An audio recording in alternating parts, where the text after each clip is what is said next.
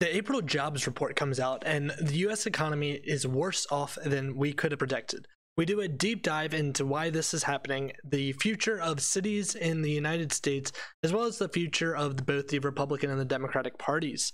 Uh, these stories and more on your May 11th Not So News update. Please like and subscribe if you're looking for daily news content, and let's dive on in. Uh, starting us off, coming from the Wall Street Journal, U.S. employers add 266,000 jobs in April as hiring slows. Hiring in the U.S. Unexpected, unexpectedly slowed in April, a sign of the nation's recovery from the pandemic still faces challenges as many businesses struggle to find workers or remain cautious about the economic lo- outlook. U.S. employers added a modest 266,000 jobs in April. A report Friday by the Labor Department showed far short of the 1 million that economists had forecast and the weekly monthly gains into January. The declaration came after payrolls rose a downwardly revised 70, 770,000 in March and left total employment down by 8.2 million from its pre-pandemic level. The unemployment rate ticked um, up to 6.1% in April from 6% a month earlier, uh, partially reflecting an increase in people's entering the workforce. Um, higher vaccination rates, fiscal stimulus, and easing business restrictions are converging to support stronger spending across the U.S., but an economy emerging from pandemic related disruptions is also encountering restraint on job gains, broader economic activity, as imbalances in supply and demand for goods, services, and labor play out. So, this makes us wonder what are the main reasons for why the job market is still not that strong? You'll notice they actually don't talk about jobs much in this Wall Street Journal. They talk specifically about supply and demand of goods towards the end. Um, and in my opinion, that's the wrong conversation to be having with these types of discussions, uh, particularly because with all the extra stimulus we've done throughout COVID, there we really can't use the basic supply and demand for saying how much a job is worth anymore. You know, we, we can kind of imagine like let's say uh, you know you pay a dollar for i don't know your quart of milk or whatever um, and the government increases the supply of money to you know 50% more than its uh, pre-pandemic level. Now that ga- that price of milk with you getting you know next to no um, increase in your take-home pay is now a dollar fifty um, and you know most co- companies out there do some type of uh, raises yearly to kind of like offset um, inflation, I have a hard time believing that many of the jobs are going to be giving, you know, something even close to the amount of extra spending that has been happening as a result of COVID. Um, the Market Watch does a similar um, uh, interpretation of the job numbers, U.S. jobs recovery reveals two very different Americas. Um, they actually go into the racial uh, divide um, in in their article. What's more, while millions of people were laid off last year, many white collar workers were able to work from home. The Labor Department said uh, just 18.3% of people employed were teleworking in April, down from 21% the previous month. Uh, for all the anal- anal- analysis devoted to working from home and maintaining a work life balance is an option open to um, precious few workers. Another sign that to America's black unemployment rate rose slightly to 9.7% versus 5.3% for whites, making black workers the only racial and ethnic group as a whole to experience worsening metrics, according to Elise uh, Gould, senior economist with Economic Policy Institute of Progressive Thinking. Clearly, these two groups are experiencing a very different labor market. Others left out of the job group temporary workers as shops and restaurants reopen. It looks as if a lot of delivery and temporary help uh, services jobs vanish. Brian Coulton, chief economist at Fitch Ratings, said the small rise in the unemployment rate, along with the downward revisions to job gains in March, emphasize just how far away we are from regaining full employment. Um, so I want to mainly hit on this uh, racial disparity between the 9.7% to 5.3% for whites, um, 9.7% for black unemployment, um, and if we kind of, you know, do this as a mirroring of how we expect jobs to be if we look at specifically cities versus rural areas, in my opinion, this is actually a good sign for Republican um, individuals that you know the areas that are doing the best right now are going to be your predominantly white areas which are predominantly going to be suburban uh, rural areas which are in my opinion the biggest group that uh, the gop needs to re uh, win back which is that suburban uh, white female vote that they traditionally got and have seemed to lose uh, with trump um, obviously, 2024 is a bit away, but there are the 2022 midterm elections. Um, and I think the jobs market is going to be the biggest issue when it comes to the 2022 elections. Um, coming from New York Magazine, uh, the Intelligencer, five explanations for April's bad job reports. Uh, they give five potential uh, reasons for why um, the, the, job market numbers are you know terrible. Um, remember, just for when we're comparing these two, we added 266,000 jobs in um, April, they were expecting a one million dollar number or a one million number. That means they were 25 percent uh, of what they thought they would be. Only in the government can you get paid for having a, a number 75 percent off.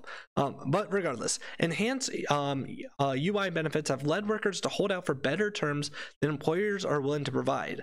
Um, this is one of the big issues that we saw with giving so much extra benefits, um, specifically with unemployment. Um, and you know kind of if you think about it this way let's say you get $10 an hour um, for you know unemployment and you can work at your mcdonald's for $12 an hour if you think about it you're actually working for mcdonald's for $2 an hour with that kind of mindset um, obviously we need to have some type of incentive out there for people to get work um, the second issue that they bring up schools and daycares haven't fully opened. This is keeping many mothers from returning to the labor force. Obviously, this pushes at how big of an issue it is to get schools open, how much of an issue it is to get daycares open, specifically when we're in a time where the CDC has said that it is safe for schools to reopen. Uh, number three, supply chain bottlenecks are uh, constraining production in some key industries. Um, they specifically said this is only about 18,000 jobs, so obviously it's not the underlying um, issue. Uh, next, they say the government's seasonal adjustment formula must be obsolete in the age of COVID. Um, this is what gave the $1 million number, um, or sorry, the 1 million uh, jobs number. So obviously, this isn't a big issue, uh, specifically when we still see the impl- um, unemployment is still a um, at a, a, reasonably high level. Uh, finally, it takes time for labor market to recover from a pandemic that has not actually ended. You know, as far as I'm concerned, the, they're, they're saying the pandemic hasn't actually ended. As far as I'm concerned, everyone has been given of the um, access to the vaccine that desires it. Um, in my opinion, the only reason to keep any type of industry shut down, any type of environment shut down, is either political in-group signaling or you're an anti-vaxxer. Um, and I think it's time to, you know, kind of flip the script on what it means to be anti-vax. Um, I think it's just as much anti-vax to say that individuals need to be wearing masks uh, 24 7 um, as it is to say that the vaccine doesn't do anything. Um, it's either we got to pick between the vaccine works or it doesn't. Coming from the Daily Wire, Biden, no evidence people aren't working due to government benefits and they sorry and they better not be doing it uh, this is in reference to um, all the new benefits that are um, coming out for unemployment um, and how that uh, the example we just gave with the mcdonald's you know you're actually only getting two dollars to work um, and how Biden uh, responded to this type of comment.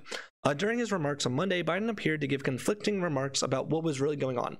He suggested that receiving um, of generous government benefits was not the reason that people were refusing to return to work. He also repeatedly stated that people who are on government benefits must return to work if they are offered a job. We're going to make it clear that anyone collecting unemployment who is offered a suitable job must take that job or lose their unemployment benefits, Biden said. There are a few COVID 19 related exceptions so that people aren't forced to choose between their basic safety and a paycheck, but otherwise, that's the law. I know there's been a lot of discussion since Friday's report that people are being paid to stay home rather than go to work. Well, we don't see much evidence of that we don't see that. Look, it's easy to say the line has been because of the generous unemployment benefits. That is a major factor in labor shortages. Americans want to work, Biden claimed. I think the people who claim Americans won't work, even if they find a good and fair opportunity, underestimate the American people. So we'll insist that the law is followed with respect to benefits we but we're not going to turn our backs on our fellow Americans. Um, I think the biggest um, you know critique of this type of argument comes from uh, Biden's O side and someone like AOC with her um, you know Green New Deal, um, who said that we should be offering um, payment to Americans who are unable or unwilling to work. We have to remember that there is a significant chunk of the current populace that thinks that you should get paid if you are unwilling to work. Um, in my opinion, this just shows just the disconnect between what jobs are actually supposed to do. Jobs at the end of the day are your service to the community in providing some type of service, and as a result, you are then able to survive in that community. Um, I think having any other mindset that you know the goal of your job is either to eh, honestly, I think even just going to a job to accrue wealth isn't actually the right mindset to have. And unfortunately, that's the mindset a lot of individuals, specifically in cities, have. Um, looking at this city idea, though, the New York Post had an interesting article today. If you prefer city living over nature, you might be a psychopath study. Uh, this is actually something I've been really relating to. Um, I wouldn't go as far to say uh, this kind of language, um, but I've noticed the more I've uh, lived in cities, the less happy I am, um, especially with the individuals in cities that just have no like care for their fellow neighbor. They kind of just stay in their own. You know, it's it's like high school cliques all over again.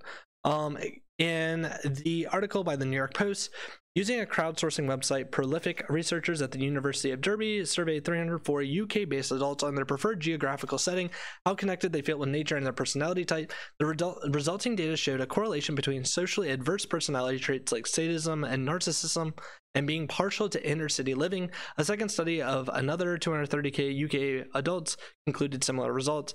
Psych- uh, psychopathy is inversely associated with nature uh, connectedness.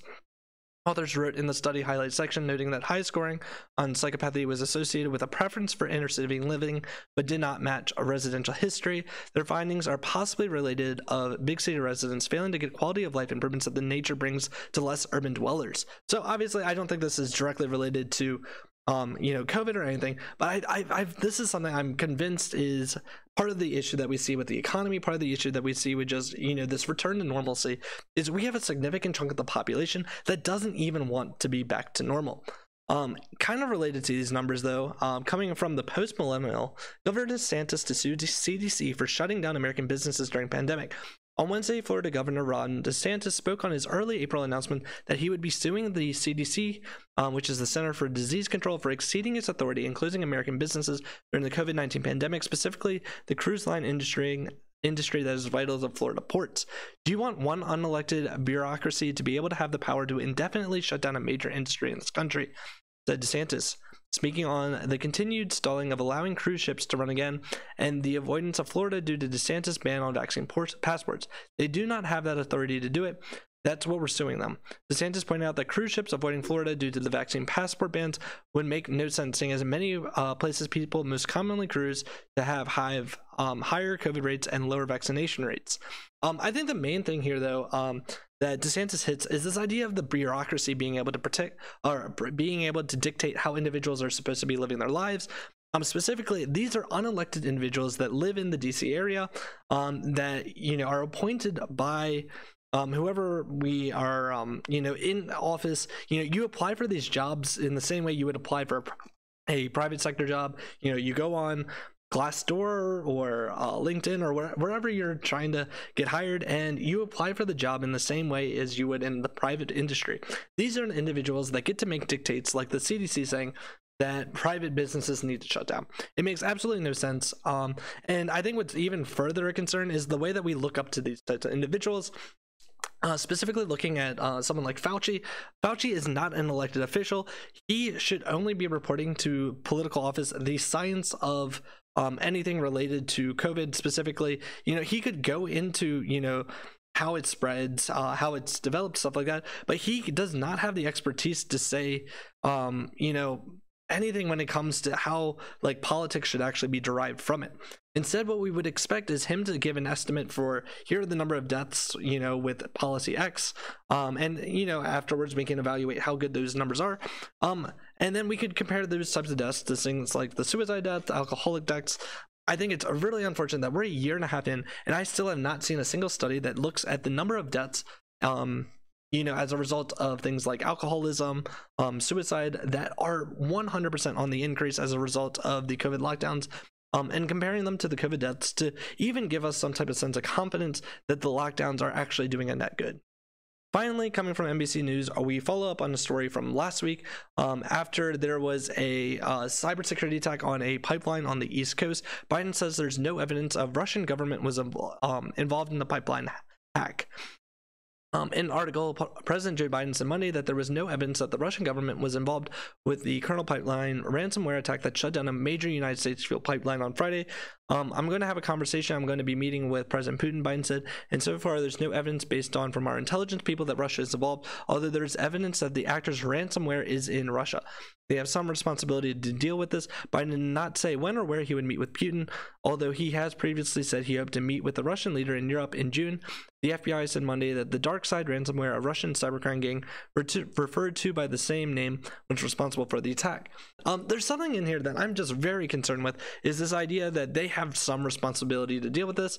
Um, unless that idea is in the same way that you know we would expect you know a American that attacks a foreign um, government to you know give up its citizens to be prosecuted in that foreign state. Um, that would be I, I think at the best what the russian responsibility is for this.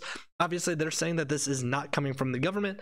Um, but this did hit on something that i was very concerned with is how much we've been talking about infrastructure. I have not seen a single conversation when it comes to cyber um, infrastructure cyber defense specifically in the military. Um, and i think that's probably the one side of infrastructure that i would want to see some type of increased spending with you know protecting all the investments I've had to give in my taxes. And this is your May 11th Not So News update. Once again, please like and subscribe if you're looking for daily news content, and have a good one.